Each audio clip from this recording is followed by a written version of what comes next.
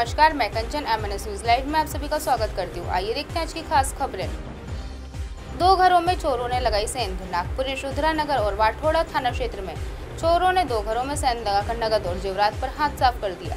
यशोधरा नगर police ने स्वरूप colony, Bilgaon निवासी मोहनीश सुनील अम्बटवार की शिकायत पर मामला दर्ज किया है। मोहनिश अपने घर पर ताला लगाकर परिवार के साथ कोराणी मंदिर में दर्शन के लिए गए थे। इसी बीच अज्ञात आरोपी ने ताला तोड़कर घर में प्रवेश किया। बेडरूम की अलमारी से पैंसठ हज़ार रुपए नगद और सोने चांदी के जेवरात सहित दो लाख रुपए का माल चोरी कर लिया। दूसरी घटना वाठोड़ा थाना क्षेत्र में हुई। पुलिस ने दिघोरी निवासी महेश दशरथ लांजे की शिकायत पर मामला दर्ज किया। मोहन तीस सितंबर को घर पर ताला लगाकर अपनी बेटी के यहाँ रहने गए थे।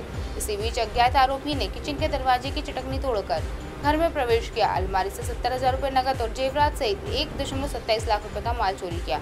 रविवार की शाम मोहन घर लौटे तो चोरी का पता चला। पुलिस ने अज्ञात आरोपियों के खिलाफ मामला दर्ज कर जाँच आरंभ की है। पहल दलित आदिवासी युवाओं को उद्योजक बना रहा बुद्धिस्टर समूह। डॉक्टर बाबा साहेब अंबेडकर ने बौद्ध धर्म की दीक्षा के लिए लगभग छियासठ वर्ष पूरे हो गए।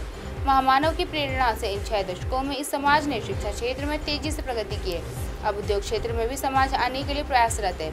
अपर्याप्त साधन और पैसों की कमी से अभी भी अनेक दिक्कतें हैं, लेकिन इन दिक्कतों पर मात करते हुए युवा नई राह तलाश रहे हैं। ऐसे उत्साहित युवकों को उद्योगजनक बनाने के लिए रत्नदीप कामले से कुछ युवा आगे आए। इनकी संकल्पना संकल्पना से बुद्धिस्ट उद्योजक समूह का उदय हुआ। नाम भले बुद्धिस्ट उद्योजक दिया गया है, लेकिन इसमें अनुसूचित जाति, जनजाति यानी दलित और आदिवासी समूह के प्रत्येक युवा को जोड़ने की कोशिश की गई।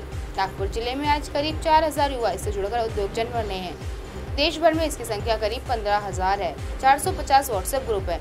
बौद्ध समाज के युवाओं को व्यवसाय में प्रोत्साहन देने के लिए करीब 10 साल पहले, यानी 2012 में, रत्नदीप कामले ने Buddhist entrepreneurs association of commerce and industry group की स्थापना की।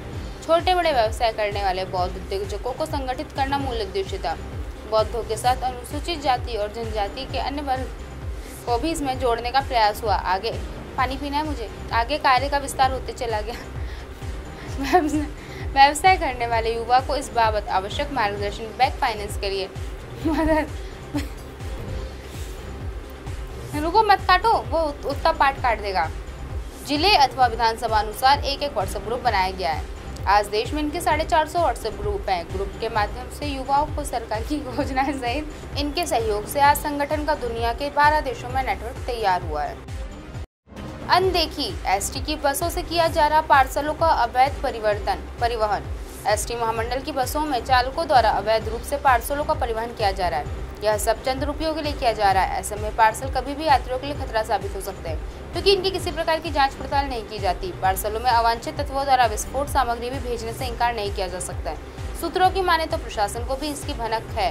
बावजूद कोई ठोस कदम नहीं उठाया जा रहा। इस तरह भेजा जाता है सामान। किसी भी व्यक्ति को पार्सल भेजना है तो सीधा बस ड्राइवर से बात करता है। ड्राइवर उसे पार्सल देकर पहुँचाने की कीमत बताते हैं। कीमत देते हैं। ड्राइवर का नंबर लेकर पार्सल को बस में छोड़ दिया जाता है। उधर जहाँ पार्सल उतारना होता है, वहाँ किसी को ड्राइवर का मोबाइल नंबर, बस नंबर आदि दिया जाता है। बस गंतव्य तक पहुँचते पार्सल उतार लिया जाता है। साठ से सत्तर रुपए लेते हैं। गणेश पेट, बस स्टैंड में कुछ बस चालकों से बातचीत करने पर उन्होंने पार्सल लेके जाने की बात स्वीकार की। साथ ही अमरावती के लिए सौ रुपये काटोल के लिए पचास रुपये लेने की बात कही। पार्सल में क्या रहता है? इस बारे में कोई लेना देना नहीं रहता। की जाती है कार्यवाही इस तरह के मामलों को रोकने के लिए सर्कुलर निकाला गया है। वर्तमान स्थिति में ऐसा कोई चालक सामने आता है तो उस पर कार्यवाही की जाएगी। अब आप हमारे चैनल को आपके मोबाइल पर भी देख सकते हैं। मोबाइल ऐप पर देखने के लिए प्ले स्टोर से M N S TV app download करें।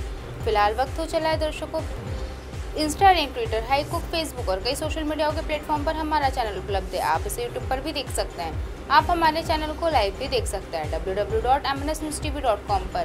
फ़िलहाल वक्त हो चला है, दर्शकों ब्रेक का ब्रेक से लौटने के बाद देखिए देश दुनिया की तमाम खबरें। बने रही एम न्यूज़ पर। नमस्कार।